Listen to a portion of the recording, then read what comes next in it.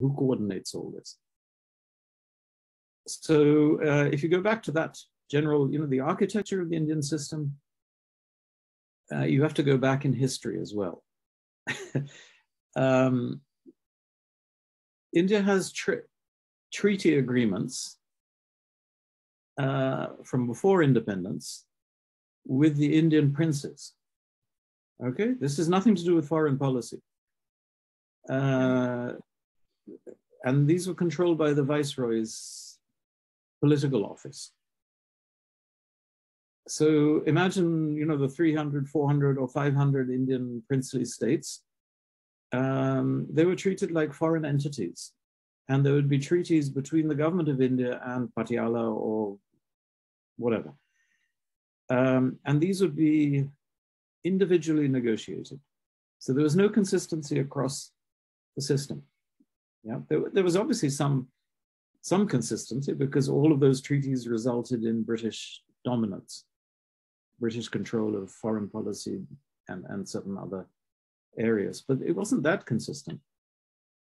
Then there were a similar set of treaties with dependent neighboring states, because under the, under the British, the Viceroy of India was in charge of Indian foreign policy, and that included Central Asia, the Gulf, and East Asia.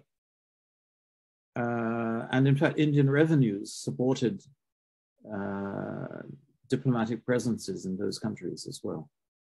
So you have another set of treaties with Afghanistan, Iran, the Gulf states, etc., which are also negotiated by the viceroy or the viceroy's political office uh, and were often uh, very uh, specific to the, to the situation at the time. Then you wind the clock forward to independence and internal reform. So on the internal side, all the princely states were either subsumed within India or Pakistan. So they disappeared as a treaty uh, relationship. I, am not sure what the situation is in Pakistan, but I, I would imagine it's similar. Um, and then through the 50s and the 60s, as the neighbors became independent, that relationship also changed.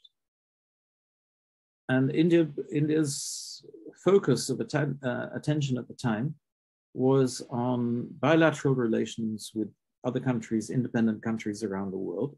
And you have to remember until the 60s or the 70s, uh, many countries had not yet achieved full independence. So it was, it was a transitional period. Uh, but nevertheless, there'd be an Indian embassy in Germany, in France, etc., etc. But uh, much of their emphasis, and this is part of Nehru's policy perspective, was on international institutions, on the UN and, and, uh, and so on.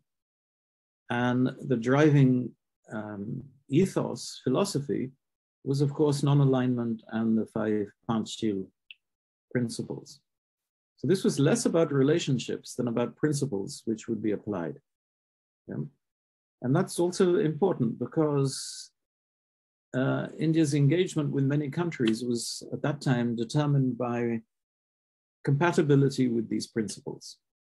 And one of them, of course, being non-interference in the sovereign affairs of member states, which for countries, newly independent countries like India was very important, but which was the exact opposite of what the big colonial powers were doing to you know, their former colonies. So the British in their colonies, Malaya, um, the French in their colonies, uh, and the Americans in South America, where they were uh, happy to exert enormous influence uh, and, and dominate the, the region. So it, that structure, the political office, then became the foreign office.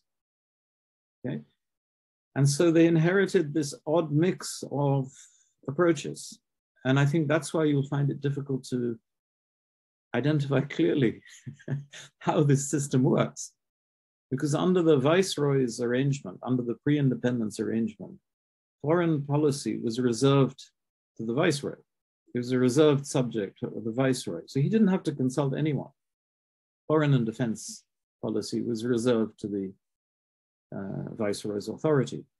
So no consultation was necessary, nor with the princely states, neither with the princely states, neither with the provinces, nothing. Uh, even to the extent that uh, I think the first or second Afghan war uh, was actually decided not in London, but, but, but in Delhi. The viceroy decided one day that it'd be nice to have a juicy war. So off, off we went. Uh, so you got uh, other anomalies because after all, India was a colony, but had its own foreign policy. This too is really strange. It's very anomalous. So the, the political office, which became, became the, for, the External Affairs Ministry, had people who were schooled in that particular way of doing things.